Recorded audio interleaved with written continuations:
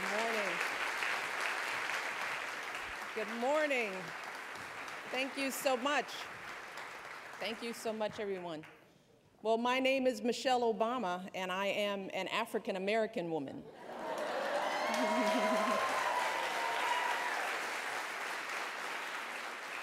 On behalf of myself and my husband, it is truly a pleasure and an honor to welcome you all here to Washington. Uh, we have so many distinguished leaders uh, here with us today. Of course, we have President Bush uh, and Mrs. Bush who are here today, and I want to thank them both and the Bush Institute for their passionate leadership on the issues that we're going to be discussing today. Uh, I also want to recognize my dear friend, Dr. Jill Biden, who is here as well. She has been a tremendous partner uh, over the past five and a half years, and I'm thrilled that she is here with us today. And of course, uh, most of all, I want to thank all of you for joining us at this event.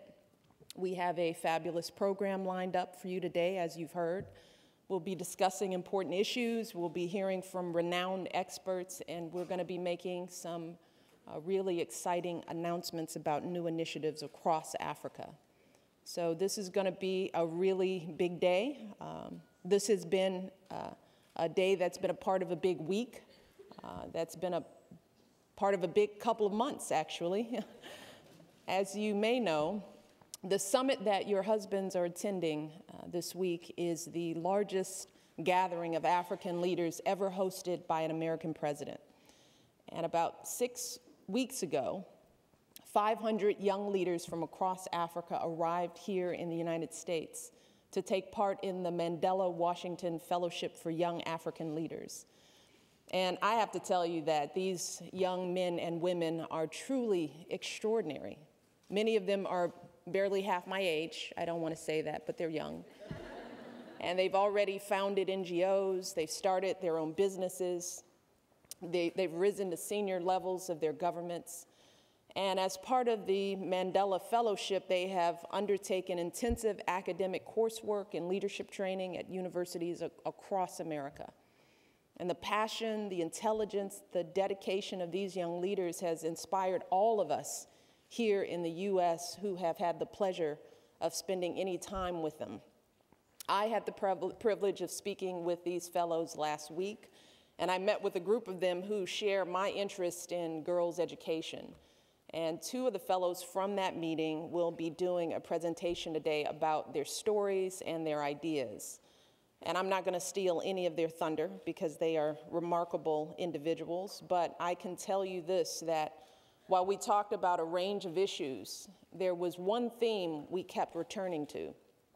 Again and again, these young people emphasized how important it is for them to have support uh, from leaders in their governments. And this is the very same message that I hear so often from the young American leaders that I meet with. These young people are working so hard in their communities. They're facing so many challenges and obstacles, and they're looking to all of us for inspiration. They're looking to us to champion the issues they care about. And most of all, they're looking to us to empower them to be part of the solution. And that means that we all are going to need to do everything in our power to bring these young people to the table. We need to spend a lot of time with them, more time listening. And I mean, really listening to their voices, to their views, so that we can understand the challenges that they're facing through their eyes. And we need to learn from their experiences and from their expertise. You see, these young people are developing all kinds of new technologies and social media strategies to address problems that our generation hasn't yet solved. And whether it's an app to fight cervical cancer or a new approach to clean energy, they are coming up with solutions that we never could have dreamed of. So the question is can we and our governments learn from them and follow their lead? Can we embrace their ideas and incorporate them into policies and strategies. And in our work as First Ladies, First Spouses, can we find new ways to be more inclusive of these young people and show them that we truly value their voices? And so many of you are already embracing the young leaders in your countries through your work, whether it's improving girls' education or fighting cervical cancer or HIV or supporting microfinance. You all have the potential to inspire millions across the globe. So it is my hope that today we will rededicate ourselves to these efforts and commit to new efforts to lift up our young people. And I hope that you all will have a chance today to really connect with each other and learn from each other and hopefully be inspired by each other. And with that, it is now my pleasure to begin a conversation with a First Lady who has long been an inspiration to me. Laura Bush set a high bar for me during her time in the White House, and she has continued to do outstanding work around the world since she and her husband left Washington. And I consider her not just a role model, but also a friend. And I'm thrilled that our conversation today will be moderated by another woman who I greatly respect and admire, one of America's leading journalists, our friend Cokie Roberts.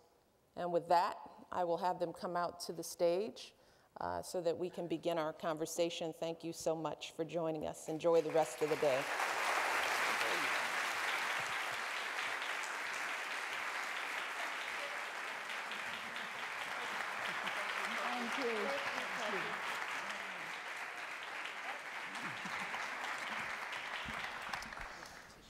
Well, I am so excited that we get to do this again. I know, this is really fun. We did this last summer.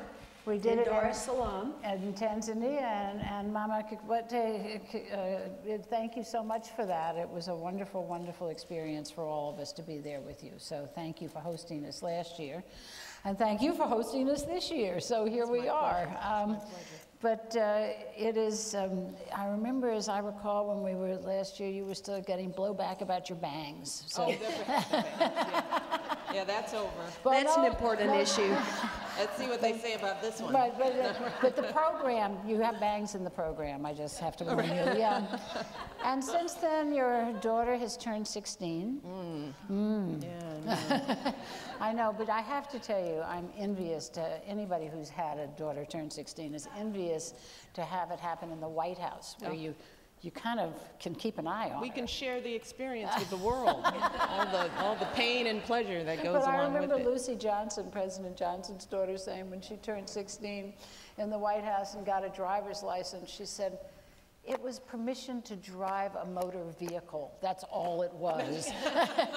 For most people, a driver's license is freedom. That's right, that's right. But, uh, but you're experiencing it well, right? Well, The girls are, are, are growing up, and as uh, Laura and the president know, that it is a true testament to the parents to raise wonderful young people through this experience. And we have had some terrific role models. Jenna and Barbara are just amazing young women who are doing extraordinary things, not just in this country, but around the globe. And uh, once again, they're setting a high bar, but the girls are doing great. I'm very proud of them.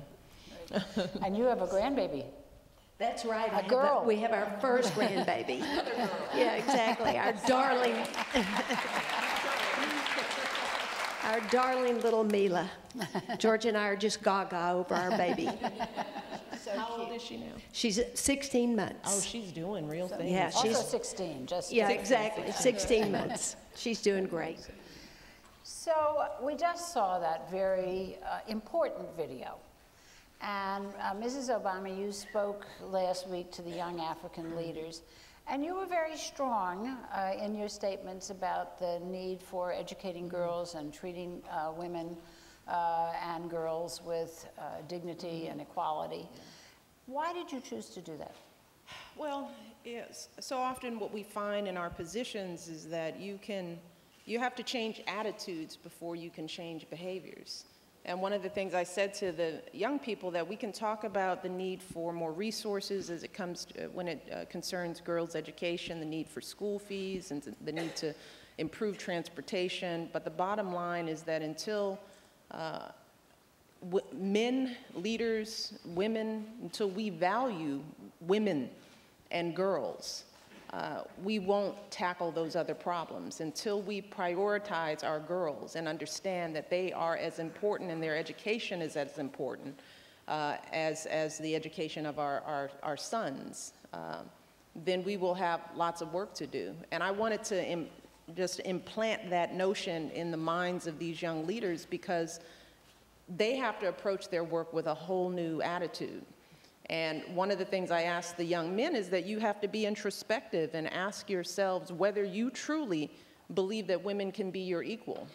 And in sharing my story, just understanding the power of having men in my life who valued me and put me first and treated me with the re respect and didn't abuse me and didn't talk down to me. I want young men around the world to understand that they have a role to play alongside of women who are fighting for these rights. And I want our young men to understand this at an early age. So. Mrs. Bush, you've been working on this issue for a long time, particularly with the women of Afghanistan. And are you still doing that? Tell us about where you're doing it. Yes, we're still working on that. After September 11th, when the spotlight turned to Afghanistan, and we in the United States looked at the way women in Afghanistan were treated, uh, many, many people, women and men in the U.S., were concerned. And uh, that's when I first started working with women in Afghanistan. And Mrs. Obama is right. Uh, in fact, one person said to me one time, Why are you working with women? It's men that have the problem. and I think uh, we, we do need to make sure worldwide that all humans are valued, that women and men are valued, that girls and boys are valued, and that human life is valued. I think that's really uh, the most important thing we can do, all of us can do, is try to increase that uh, knowledge worldwide that every life is precious. And of course, on the, this question, the question of girls' education and, and um, women's health and all that, we have so much data now that shows that if you educate a girl, you save a country. You know, so are you, are you finding that you're able to keep working on that, that that's something you're able, because one of the questions I got um, last year after you all finished talking, and I stayed um, for a couple of days, from these wonderful women was, you know, how do you keep it going? Well, one of the things we've done, George and I have done, uh, obviously, when you live in the White House, you have a platform, but former first ladies and former presidents continue to have a platform and a convening power. And we've tried to do that with the First Ladies Initiative that we started last summer with the first conference in Dar es Salaam. And that is to bring uh, together First Ladies really from around the world. We started with African First Ladies, but we're interested in engaging women from every, First Ladies from every country uh, to talk about the very unique platform that the spouses of world leaders have uh, to help the women in their countries, uh, to make sure that everyone is paying attention to the education of boys and girls in their country, and that we're making sure that women have the opportunity to be involved in the economic life of their country. Because only countries where all people are involved can be successful. We, when we look around the world and we see countries where half of the population is marginalized or left out, then we usually see countries that are failing. So it's important to keep talking about that. And, and, it's important, as I said in my opening remarks, to make room for the next generation of leaders. Because one of the things that the young people said to me, as I mentioned, is that they, they asked me to ask the first spouses to make room for them. Uh, because they're, they're looking for a place at the table. And they specifically said that when you meet with the, the spouses of our country, tell them that we want to help, that we want a voice, and that we're looking to, to them, they're looking to all of us uh, to provide that seat. And that's where that platform that Mrs. Bush speaks of, why it's so important. Because these young people, they believe that, we, that they get their inspiration from us. They're looking to us. They still don't quite know that they have the expertise and the skills already. They think we know more. We but actually do. We, we, we do. we do. We do. But you know, when you listen to just the opening speakers, when you think about social media, right. you know, I mean, just listening to the hashtags and the Twitter accounts, I mean, that, that, was, that was a little nutty. but it's, it's how you continue the conversation And globalize. and globalize it. And young people are just more adept at that. Um, and they can, you know, as I tease my kids, I tell them I want them to use Instagram to take a picture of something really important rather than their food. you know, but but young people oh, can be a support to us. You know, I mean, no one really cares what you had for lunch. But Well, you both talked last year when we were having this conversation about shining a light mm-hmm. on an issue, and that you, you in this unique position, that you have the opportunity to shine the light. At some point, people stop looking at what you're wearing and see what you're, what you're aiming at. One of the questions I get all the time is how do you choose? How do you choose what issue to shine a light on? Now, you knew when you came in that you wanted to do something about military families, but it was kind of inchoate, right? Um, you expected to do something about early childhood education and cognition, and of course, circum- September 11th changed all of that. Um, how do you put it together to decide exactly what you're going to do? Well, I think you look at yourself and see what your expertise is. When I came to the White House, I was a, had been a librarian. I loved to read. I'd been a teacher. And so education and literacy were, were very, very obvious interest of mine and expertise of mine. So that's what I started with. But then also you look at what appears. And uh, there are ways you can take advantage of uh, different things that happen to go in another way. I got a phone call, uh, for instance, from the head of the National Heart, Lung, and Blood Institute here in Washington. And she said, Did you know that heart disease is the leading cause of death among American women? And I didn't know that. I just had assumed cancer was the leading cause of death among American women. But so I knew if I didn't know that heart disease was the leading cause of death, that many American women didn't know that either. And so I was presented with the opportunity to talk about the heart truth and to get the word out to American women that heart disease was a leading cause of death so that they could start doing things because heart disease is often preventable. But also, if you know that you might have a heart attack, it wouldn't just be your husband that had a heart attack, then you can rush to the hospital yourself and get the kind of treatment that you would demand for your husband, uh, but you might not realize you would need it yourself. So I think they're both ways both look to your own expertise and then just take advantage of other interests that come up and uh, uh, see if you can make a difference in your countries. Uh, also where you where your passions lie um, because i've found that uh, i've been most effective when i am uniquely authentic there's a sort of there, there's a authenticity to what i say um, so that means i have to really believe passionately in the causes that i take on um, and, and, and that lends itself to more power, more effectiveness. It just makes you a better advocate because this is something you care deeply about. This was true when it comes came to the issue of, of uh, educating our young people. I just started an initiative this year, Reach Higher, because one of the things I'm deeply passionate about is the role that education has to play in the lives of our young people. And I, my story is the story that I try to share with young people to motivate them. You know, there's nothing in my life that would indicate that I would be sitting here on this stage with a former First Lady and one of the most renowned journalists and every first spouse in Africa. nothing in my, my life indicated that. But my parents believed in the value of education, even though they were not educated themselves. And they pushed my brother and I to do the best that we could do.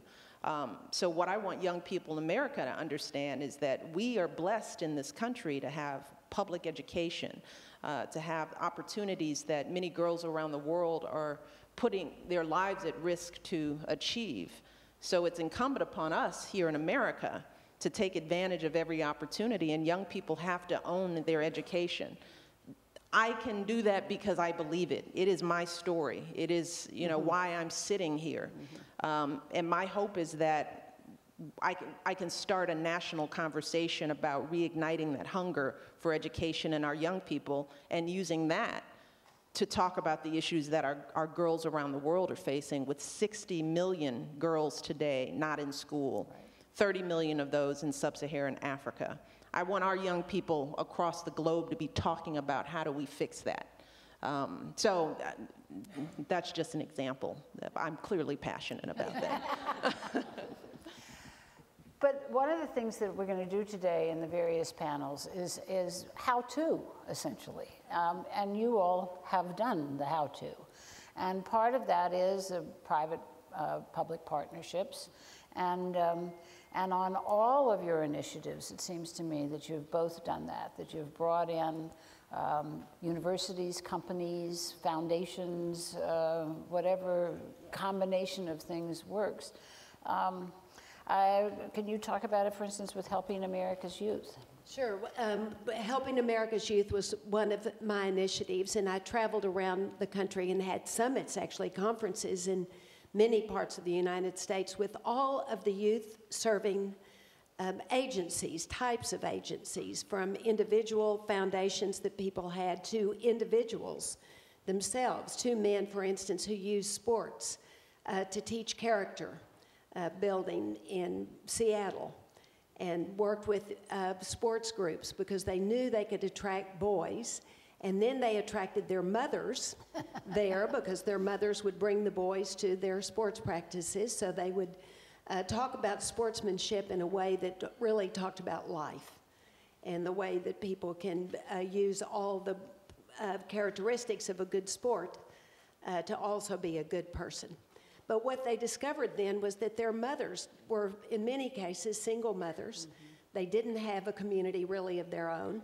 And so they started, after the sports games, they would have barbecues. So the mothers could meet each other and be with each other. And, and really, they uh, were out to help the boys, uh, but found out they helped the whole family uh, with this one, one um, agency or one uh, foundation that these two men started. And that's just one example of many, many others that were part of Helping America's Youth. And, and helping people get off of drugs or not get into drugs, That's not right. get into.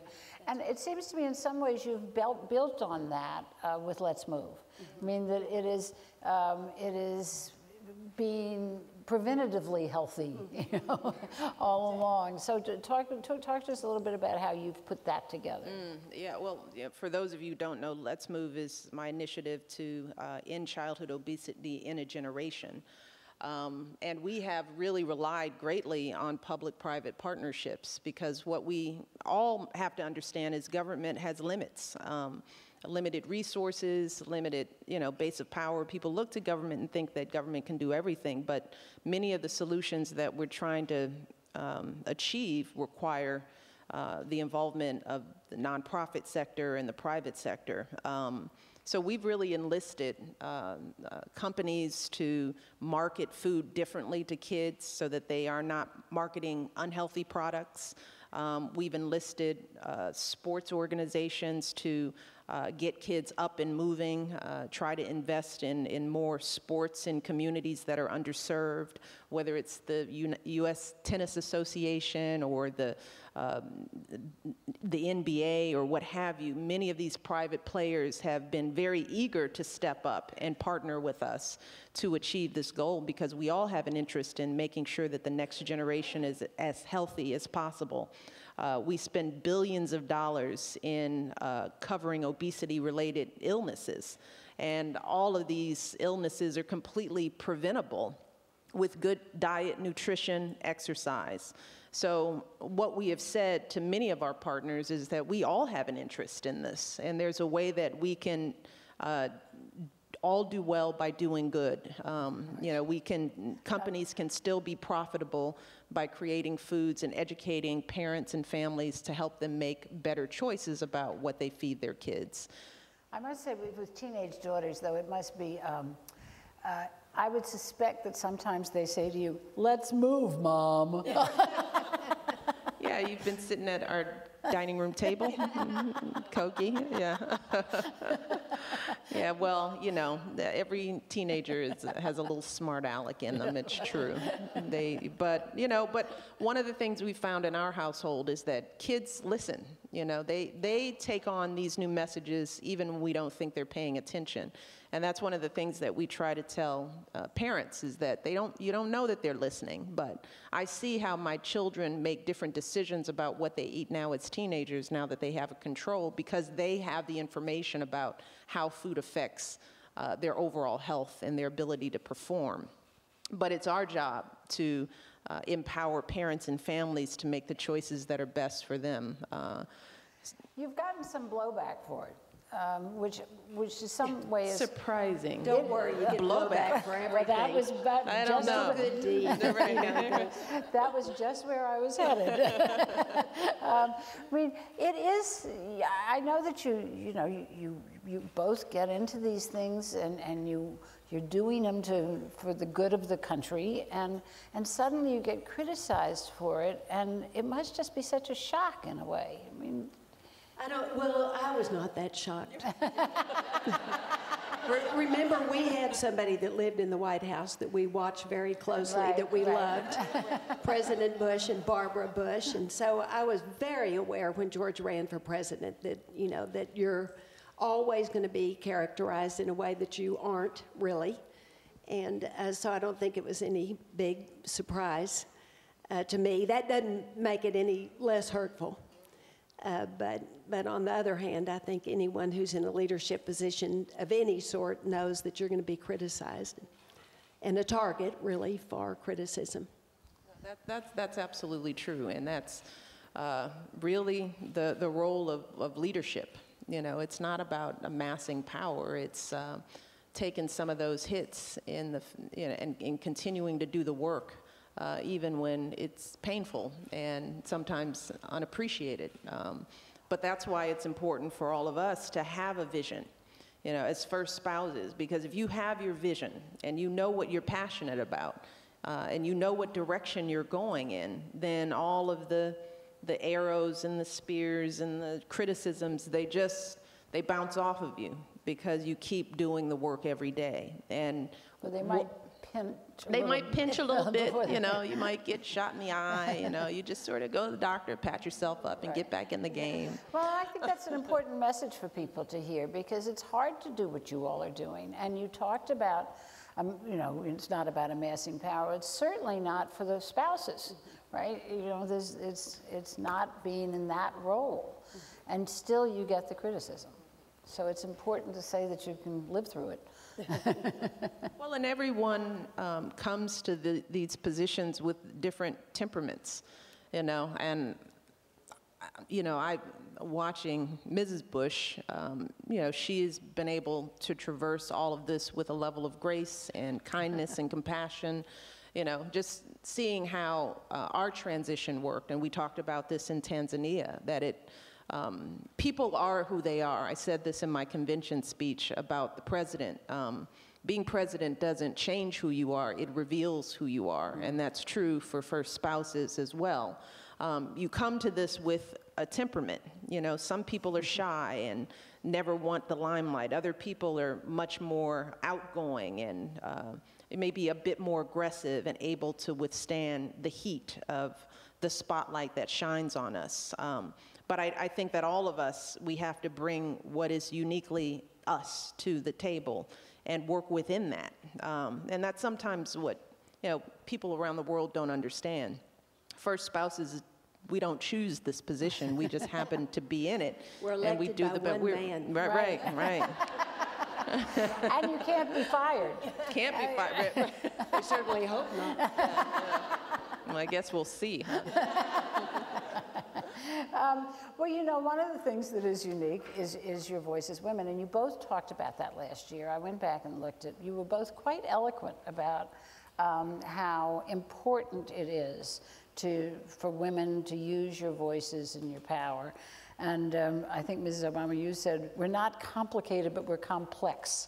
and, uh, and I think that's a good way of putting it. And, but, but again, Mrs. Bush, why is it important for women to, for women's voices in this particular position to be heard? For the First Lady, well, I think it's important because the First Lady has an opportunity, really, to talk about uh, what is most interesting to her and what she thinks she can help, the ways she thinks she can help her country and the people in her country uh, the best. I love to quote Lady Bird Johnson, who said, The First Lady has a podium, and she intended to use it. And she did. Uh, she was another Texas First Lady, and I admired her from a distance. I didn't know her then, but got to know her later when George was governor and we lived in Austin. Uh, but she really did. She used what she loved, and she happened to love the na- uh, native flowers and the natural beauty of our country. And she made a huge difference. The Well, daffodils that you see blooming here along the um, um, George Washington Parkway she, were planted because of Lady Bird Johnson. But yes, she used education and civil rights, and she was a Southern uh, uh, First Lady, so it was very important for her to speak out about civil rights, and she did. She campaigned all across the South for the civil rights laws that were passed and signed during President Johnson's administration. Well, I, you know, I, once again, I always go back to young people. Mm-hmm. You know, we meet, I know I do, we meet thousands of just wonderful young people in our countries and around the world. And, you know, to, to walk, to have a seven year old, a 12 year old walk up to you or send you a letter and tell them, thank you for what you do. I look up to you. You inspire me. You know, that reminds us all that whether we like it or not, we are role models. Um, and as women, we have the, the young girls in our worlds, in our countries, they're looking to us. They're looking to us for how we should be, how we should think, how to use our voices. And as a result, we have a responsibility to show them the way in whatever way we can. And that may be something as simple as embracing a child on the line and telling them that they're beautiful and that you're proud of them and that you know that they're important and they're valued. I think about that because every time I meet a child, I think, who knows what's going on in her life? Whether she just bullied or whether she had a bad day at school or whether she lost a parent that interaction that we have with that individual, that child, for that moment, could change their life. Um, so we can't waste the spotlight. Uh, it is temporary, um, and life is short, uh, and change is needed. And women are smarter than men. Well, there is that. that, that just goes without saying. But um, and the men can't complain because you're outnumbered today.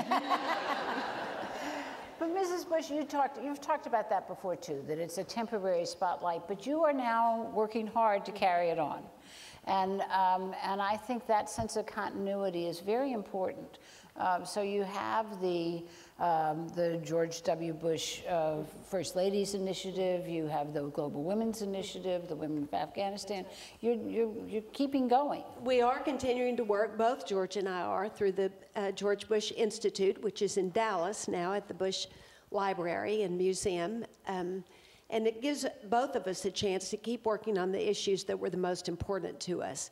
Pink Ribbon, Red Ribbon is our global health initiative. Many of you already know about that. We've launched in uh, three countries in Africa, and we're going to hear about some more in a few minutes. But uh, because PEPFAR was started while George was president, the president's emergency plan for AIDS relief, uh, we wanted to be able to continue a global health initiative, initiative that builds on PEPFAR. And when we looked at the cancer numbers across Africa and really across the world, and saw that cervical cancer, which is preventable, is the leading cause of cancer death among African women, uh, we figured out there was a way we could use the PEPFAR platform that's already established and add the testing and treatment for cervical and breast cancer uh, to PEPFAR. And so that's our global health initiative. It's given us a way to keep building, and we have a number of terrific partners who are in the room. Um, so thank you all to all the partners, and thanks to the first ladies in the countries where we've already launched and where we're getting ready to launch. I, I just thought that was such a smart initiative because it really does combine uh, so many elements that are just sensible, you know, which is another thing women are good at. Um, but uh, the, uh, the fact is, is that you, you had the PEPFAR clinics, so you, the women were already coming. in, and, but you needed since, since uh, um, breast cancer isn't caused by uh, the same diseases, you needed to get um, somebody else in. So you got Susan G. Komen and the pharmaceutical companies in. And it's really now turned out to be a total women's health platform. It is really, and it's partnering obviously with the U.S. government as well, using the uh, U.S. State Department as our partner because we are using the PEPFAR platform to add. And the great news is that cervical cancer really can be treated, not when it's advanced, which is why it's so important that women come to be screened early on and uh, then be treated. And then the vaccination programs with the HPV uh, vaccination is important. And many, I think many African First Ladies, ladies are trying now to manage these uh, vaccination programs so that there, we really won't even have to worry about cervical cancer when these girls who are vaccinated grow up. And do you think about that, Mrs. Obama? I know you're still right in the middle of it. I hope you're not thinking about that yet. Oh, no, not at all, not at all. but about how you can carry on some of these, and talk about some of your other initiatives too mm -hmm, while you're doing mm -hmm. it, because you have done yeah, yeah. these private uh, yeah, public well, partnerships, particularly around the military families. Well, Dr. Biden and I, we started joining forces, which is um, a, a nationwide effort to provide the su support, respect to our men and women in uniform and their families. Uh, we have uh, worked with private companies to create jobs as these men and women transition to civilian life. You know, working on making sure they get the education benefits, uh, all the support that they they should expect, having put their lives on line on the line in their their their families' lives on hold. Um, and the medical schools, you're working with medical schools? Well, the nurses are uh, becoming trained to be able to identify and support uh, men and women who may have post-traumatic stress disorder, um, just educating the entire country on what PTSD means, trying to destigmatize it so that, you know, these men and women feel uh, like they can seek help when they need it. Um, all of that has been, um, you know, it, it is a passion for both Jill and I. Uh, Jill is a Blue Star mom, uh, and she proudly says that. She has grandchildren who she's seen grow up while her son, Beau, uh, was deployed. Uh, so it's truly a passion for her. And for me, this is something that I'm going to do long after we leave the White House because these needs will always be there. And as I, have been able to see through former first spouses and, and former presidents that the platform is, it, it continues. Um, and that's something that I would encourage all of, of you to think about as well as, you know, how do you uh, sort of lay the foundation for the legacy that you want to create for yourselves? And I think as women, you know, we shouldn't be afraid to talk about our legacies. Uh -huh you know, what we want to leave behind in the work that we do. Yes, there are so many important symbolic responsibilities that we have in our roles, but there is nothing wrong with thinking about legacy and what we want to leave for the world. Um, uh, but that takes planning, it takes coordination, um, it takes partnerships. And I don't think that we should be afraid as women to, to have those conversations. Right. It's too soon for me to do it now. but uh, the time will come, and, and I will embrace that because what I've seen from the Bush family is that there is a level of freedom that also comes after you're out of this spotlight. It's a new spotlight, it's a different spotlight, but there, you know, I think that there's more that you're able to do outside of office oftentimes that you can do when you're in office. Except you can, don't have the same, I remember you saying at one point, Mrs. Bush, you know, you could pick up the phone and call a member of Congress and get something done. Yeah, exactly. but I also just want to come back because we are at an African summit. And both of you have exhibited such a strong interest in Africa. And I think uh, you have very much helped to shine a spotlight on the continent and, and caused us all to learn a great deal more about the good news mm -hmm. uh, that's going on in Africa. But um, I'm kind of wondering how you got there. I mean, Mrs. Bush, I know you were in 75 countries when you were First Lady, which is a lot. Um, but, um, but why Africa? Well, obviously, it started with PEPFAR. When um, George launched PEPFAR in 2003, remember what it was like. It was people were dying every single day. all across Africa. It was a huge pandemic that was going to leave a continent of orphans uh, if no one uh, did anything about it. And so George saw that it was really important for the United States to be actively involved in, in helping in Africa. Was so important for us as the wealthiest country in the world, uh, to, both because we could, but also because we should uh, morally. Uh, try to save as many lives as possible. So I went on that trip with George in 2003 when PEPFAR was launched, and our daughter Barbara was with us as well, and she has really made her life choices uh, because of that trip. She's now uh, the head of Global Health Corps. She in, engages young people from every part of the world uh, to serve in the right? health. She created Global Health Corps, founded it to um, engage young people to work in the health field. And she has Global Health Corps fellows in Africa and also here in the United States. Uh, but I think because of that first trip and because of PEPFAR, we uh, just got a huge interest in Africa and, and traveled there many times. And of course, have traveled there many times since we've been home. We just had a wonderful trip this last March, a private trip, uh, not a, a business trip to Ethiopia to visit the Christian sites in Ethiopia. And, um, so Africa has become a very important continent to us, partly because of that, because of PEPFAR, but just also because of our experiences there.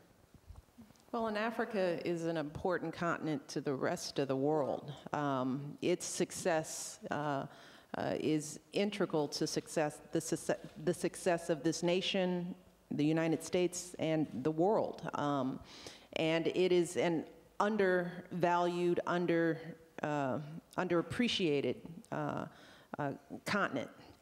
Um, so it is incumbent upon uh, the world to have a better understanding of what Africa has to offer. Um, the importance of Africa is very personal to me uh, because, as the president said last night in his toast, um, you know, Africa is home for us. Uh, you know, his family is there. We have relatives there. We have visited the continent on, in, on several occasions. We have taken our daughters back to his uh, grandfather's uh, village, um, and they have seen a part of themselves.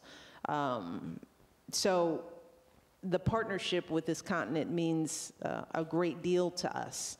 Um, and we've seen the power, the potential I mean, to meet these young leaders and to see how, how hungry they are uh, to, to uh, take their countries to a new level. Um, that kind of passion is infectious. Um, and it's something that young people here should know and understand. You know, we want people from America to travel to Africa, to understand its languages and its different cultures, and not to see it as a monolith, um, and to truly see the investment opportunities. Uh, which is one of the reasons why this summit has been so important because it hasn't just been a conversation with world leaders, but some of the nation's most powerful businesses are here. Uh, some of the most prestigious nonprofits are here. That's why today's session is so important um, because our success as a nation is directly tied to, to the success of Africa. Uh, and it's, now it is time for the United States as a whole to embrace that reality. Um, so we, this is the beginning of a, of, of, of a lot of work that needs to be done. Uh, but it is, we are, we are encouraged and we are optimistic. Well, I think this week has been very instructive for, for the whole country. I really do. Um, you know, it, it, was wonderful to be in Africa, but to have African leaders here in the United States uh, is educating the country about what is, uh, what is going on there. But I am gonna, I am gonna end where we began, which is that um, as, um, as good as the news is coming out of much of Africa, it won't be as good as it can be until we do more about the girls. Mm-hmm. That's right. And if you all want to just say a finishing word on that subject, and then we will, we will conclude. Well, let me just thank you. Thank you very much. Uh, thank you, Michelle, and thank you to President Obama for hosting the African Leaders Summit here. And Thank you for inviting the Bush Institute to be a part of the First Ladies Initiative. Thank you for coming to our First Ladies Conference last summer as well. And, and thanks to all the First Ladies who have joined us. Thank you for the great work you're already doing in your countries, which we'll hear about in a few minutes. And thank you for all the good work you will do. Thanks, Cokie. Well, Again,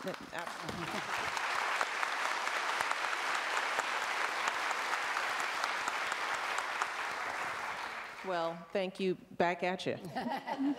But Laura, no, abs- absolutely. This, we, we are here today because of the, uh, the uh, example that was set in Tanzania through the summit uh, that the Bush Institute organized. And as my chief of staff stated, that when this summit was being organized, we jumped at the chance to do something similar and to continue this conversation and to come together as first spouses and to continue to be inspired by each other.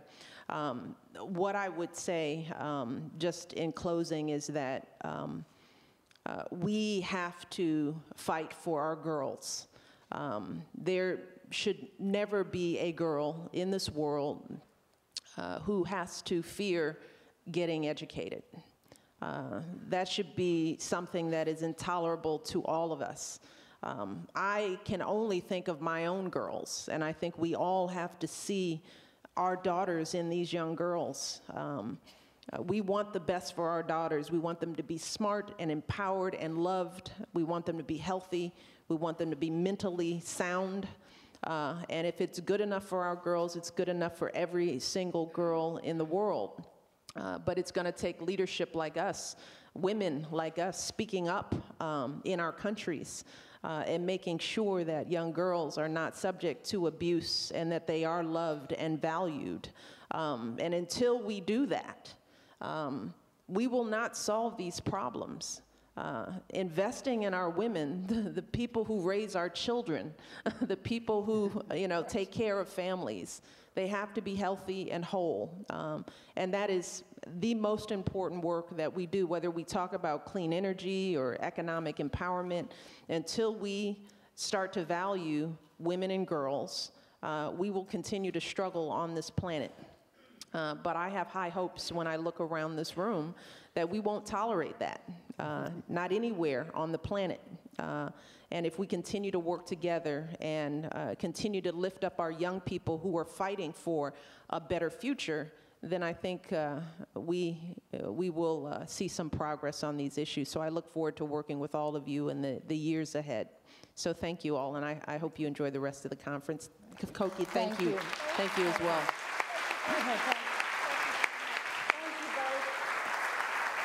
Thank you both so much for the work you're doing, first of all, uh, for coming together. I keep saying, you set such a good example for the men, but, um, but also for allowing me to participate in this conversation. Thank you very, very much.